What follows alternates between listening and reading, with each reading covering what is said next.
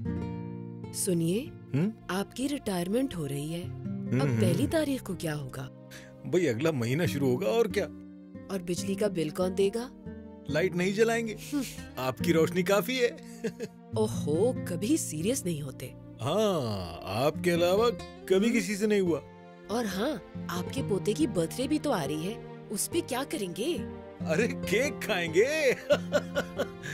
अरे भाई टेंशन क्यों लेती हैं? हमारा बैंक अल हबीब है ना? हम्म, जिस पर हमें बरसों से एतमाद है। हाँ। तो बस मैं वही सीनियर सिटीजन अकाउंट खुलवाने जा रहा हूँ जहाँ रिटायरमेंट के बाद भी मिले हर माह ज़्यादा मुनाफा। Bank Al Habib senior citizen account ज़्यादा मुनाफा बहुत सा ख्याल।